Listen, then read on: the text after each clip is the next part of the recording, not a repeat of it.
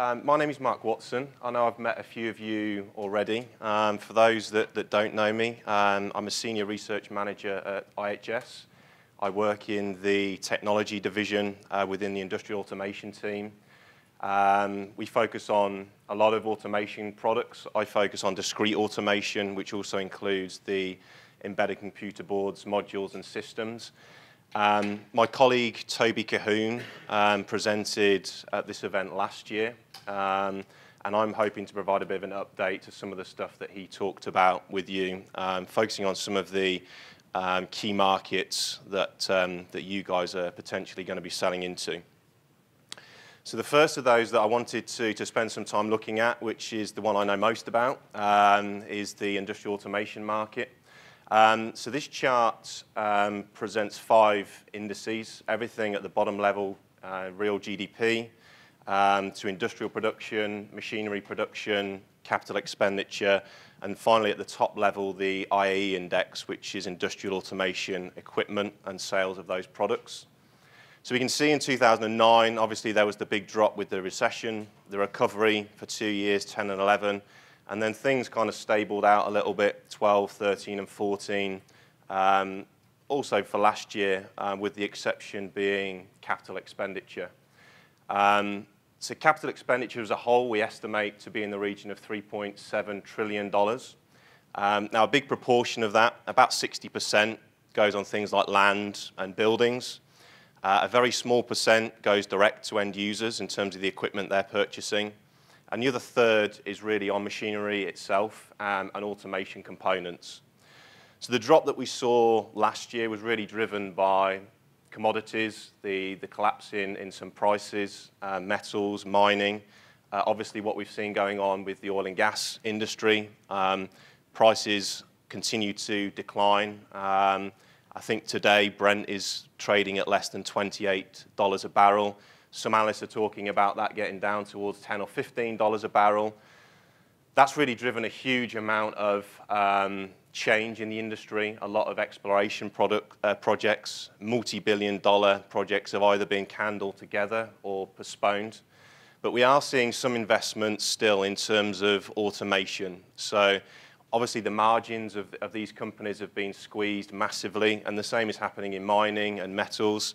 And those companies are turning to, in some instances, automation components and products to try and improve efficiencies, uh, reduce costs, um, and overall improve their margin at, at, this difficult time. So there is still investment, um, but, but not in such the, the big projects that we might have been used to over the last few years.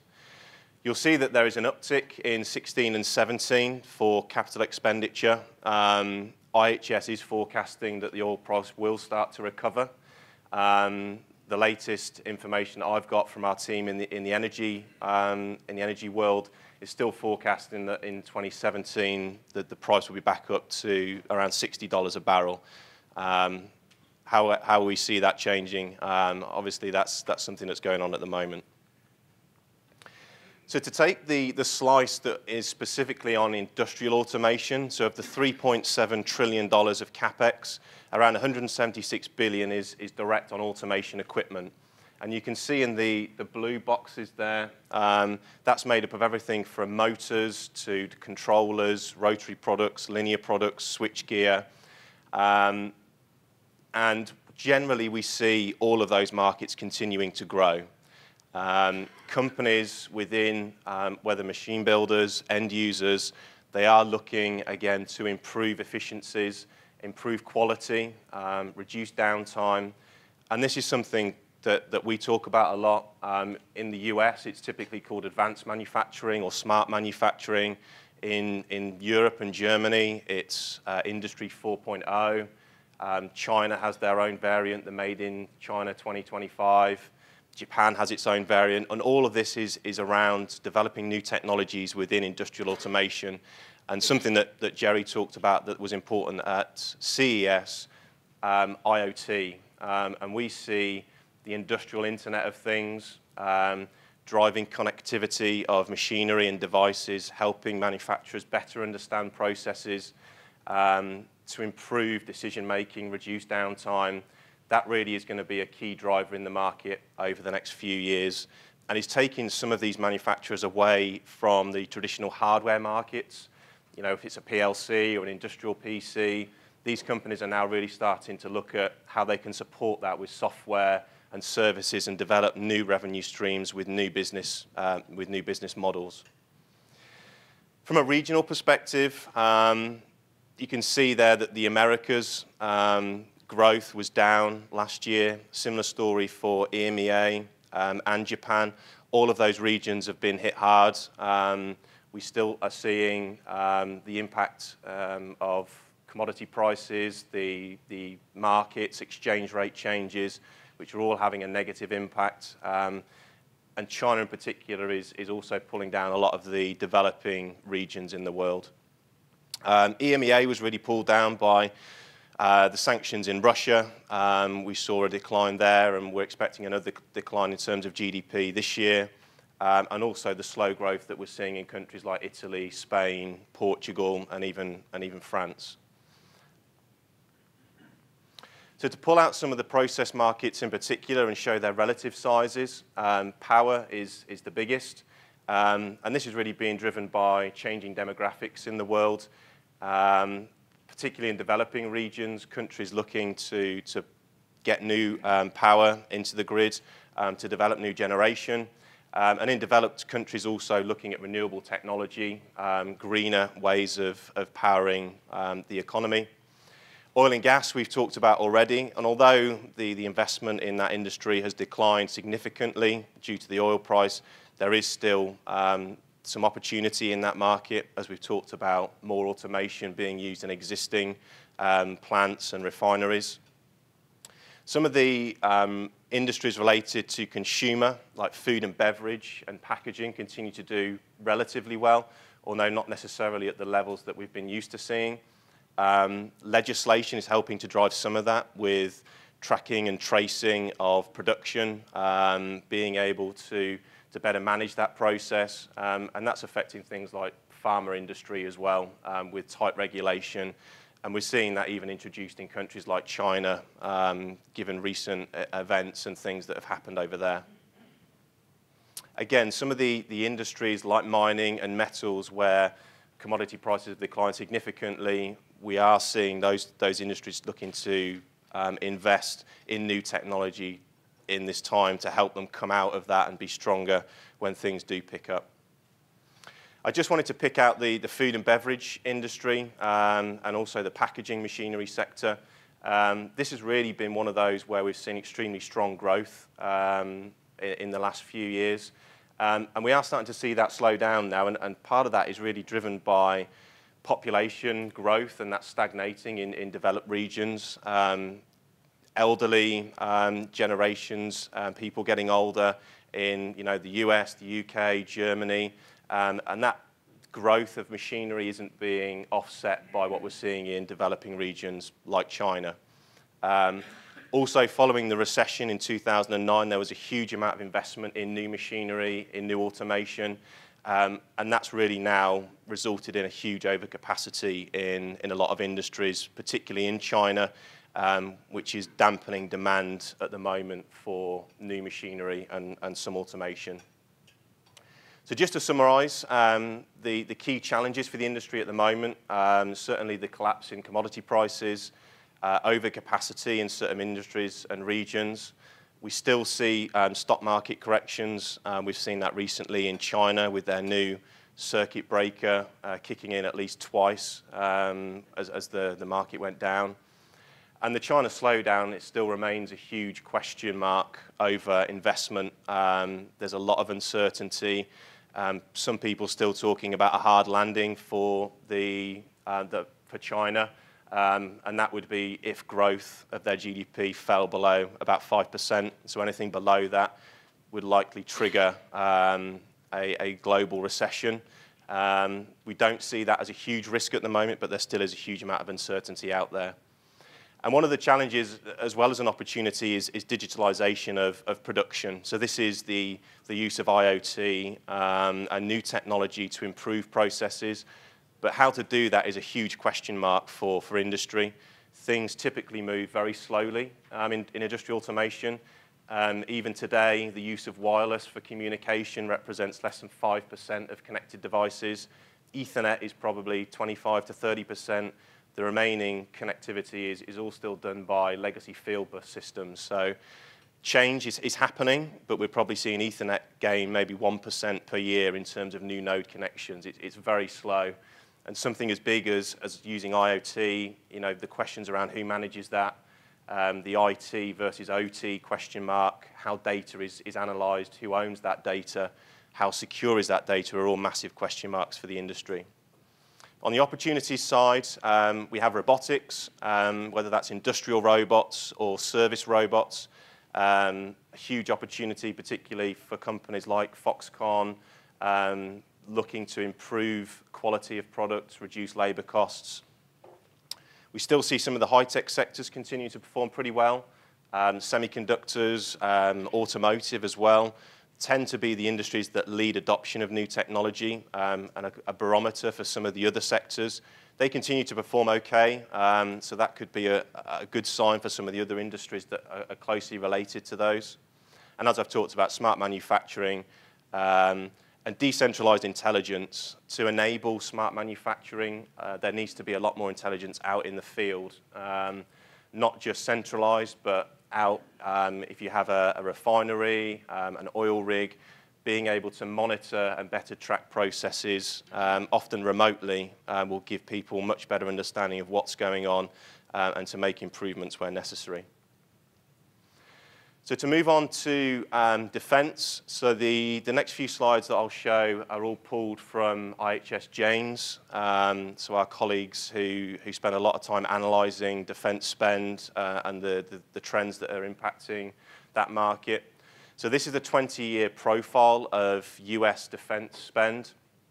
Um, the CAGR, the, the compound growth rate over the whole period is around 3.5%. Um, However, from today, looking out over the next five years, that's probably around 1.5%. So long term, there's still uh, obviously good growth opportunity here, but certainly in the shorter term, it's, it's a bit more subdued. Um, and that's really been driven by the overseas proportion of that spend. So the, the blue bar at the bottom is the, the base budget. That's everything from procurement to personnel, uh, research and development.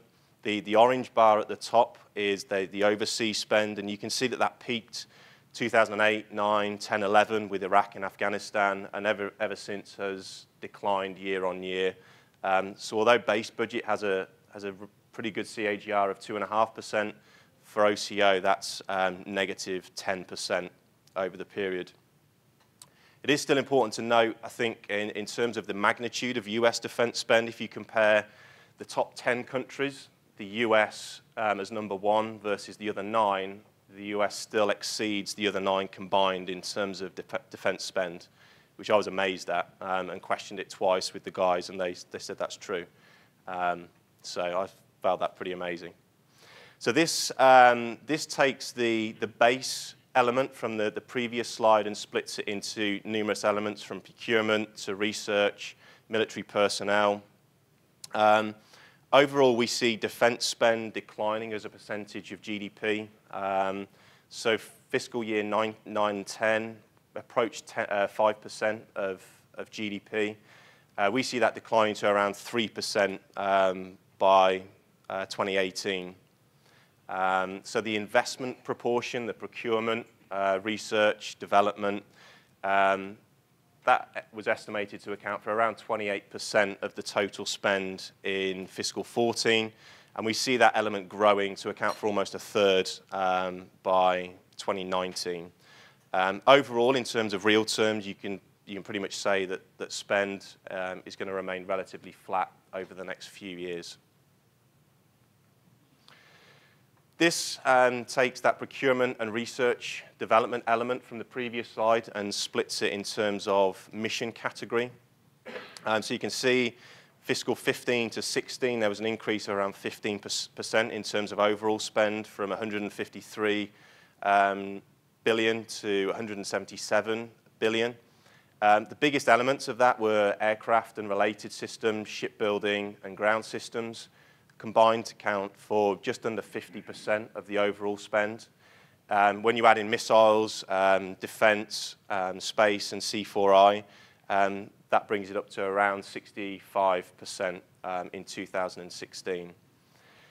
The one um, negative area of growth there you'll see is space. Space systems, a decline of 1.4% um, in fiscal 16.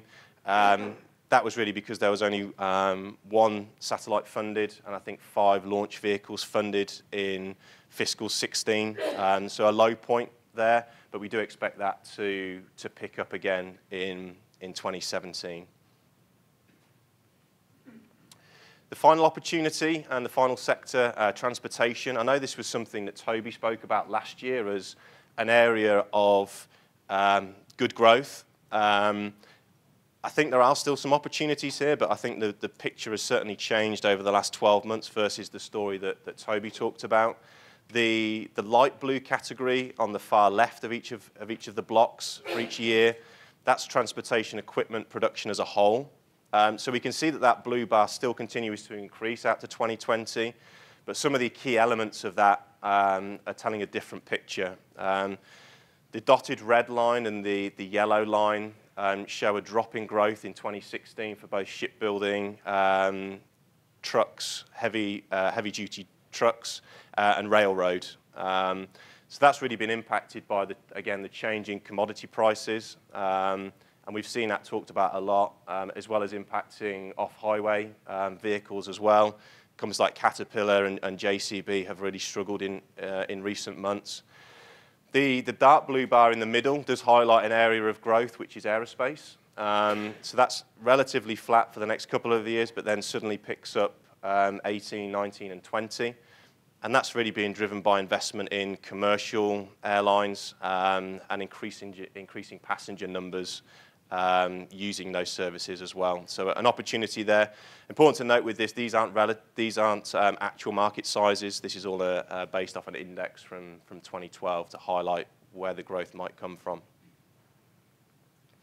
So just to, to sum up, um, in the automation space, um, still a challenging environment for machinery production and CapEx, but with good opportunity to implement new technologies like smart manufacturing and IoT. Defense spend in the US, 1.5% um, CAGR over the coming few years, but with a declining OCO element to that. Um, good opportunity in, in, military ground systems, missiles, munitions, and aircraft. Um, 15 to 16, um, we're estimating a 13.6 billion combined increase in spend for those, for those sectors. And if you look at industrial production on the transportation side, the um, marine index, heavy duty vehicles, trucks, and, and, rail looking difficult over the next few years, but certainly a, a, an opportunity in, in aerospace.